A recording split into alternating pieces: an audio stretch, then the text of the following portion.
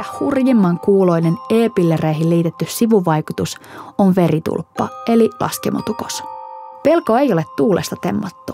Jopa pilleripaketin tuoteselosteessa lukee, että käyttö lisää veritulpan riskiä. Kun mä tein taustatutkimusta tätä jaksoa varten, mä sain satoja viestejä siitä, minkälaisia muita sivuvaikutuksia yhdistelmäehkäisyvalmisteet on aiheuttaneet. Ihmiset kertoivat mulle hiusten lähdöstä, painon noususta, haluttomuudesta, mielialavaihteluista ja ihoongelmista.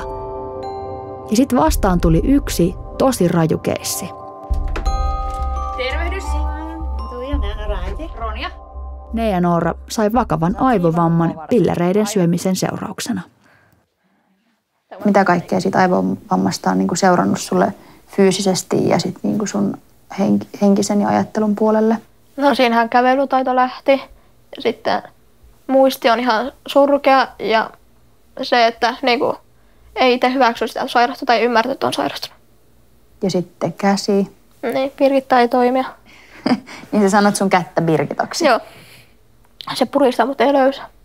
Okei. Okay. Eli osaat sä itse, tai pystyt sä puristamaan sitä kättä? Joo. Ja silloin kun alussa ei tehnyt yhtään, mitä oli vaan nylkisenä. Joo. Ja nyt se sitten se toisella kädellä saat suoristettua sitä? Joo. Aivan. Sun ennuste on ollut tosi huono. Mm. Pelkäsit se missään vaiheessa, että sä kuolet? No enkö mä ymmärtänyt itse mitään. Oot sen jälkikäteen pelännyt sitä? No silloin mä toivon, kun he sanoivat, että sä kyllä että olisi mieluun kuollut, kun jäänyt vaan muiden armoille. Ajattelit niin? Mm. Nea Noora oli ihan tavallinen 16-vuotias tyttö ja sitten kaikki muuttui yhdessä yössä. Alettiin iltahommiin ja mä havahdun itse sit siinä, että Nea Noora meni suihkuun ja se ei niinku tullut pois sieltä. Et se aloitti aina niinku uudestaan ja uudestaan kaikki. Mä että no menen nukkumaan, että sillä oli aamulla työharjoitteluun lähtö ja oli itsekin jo menossa sänkyyn, mutta sitten jotenkin jäi sellainen olo, että vitsi mä vielä tarkistan. Niin, niin se oli ihan toimeton koko tyttö. Se vaan istui siellä sängyllä ja niin kuin tuijotti. Se oli 11 aikaa illalla, kun lähdettiin sairaalaan. Ja siitä 12 tuntia niin meillä oli sitten tajuton tyttö Oussissa ja kukaan ei tiennyt, että mitä tapahtuu. Tietenkin otettiin sitten kuvat kaikki päästä ja siellä oli semmoinen massiivinen sinustrombosi. Niin kuin nämä aivoviemärit, nämä laskimot, jotka tuo aivosta verta pois, niin ne oli ihan umpitukossa. Eli kun sieltä ei päässyt mitään pois, niin se veri, mikä sinne on päässyt päähän, niin se sitten aiheutti sinne niin kuin verenvuodon sinne aivojen keskeosaan. Sitten se oli se tilanne niin, että sillä oli aivopaineet oli ihan kauheat. Sitten ne soittikin aamulla, että pyydetään niin kuin lupaa hätäleikkaukseen, että täytyy kallosta ottaa iso pala pois. Että se on aina mikä enää pelastaa.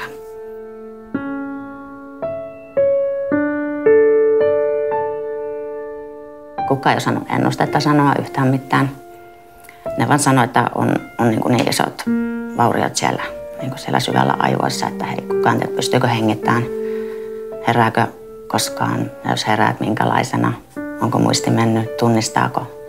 Sitten tietenkin soitettiin mummat ja papat ja kaikki läpi, että nyt on, nyt on huono tilanne, tulkaa tänne, että, että todennäköisesti tänne nuo ei enää kohta ole. Mm.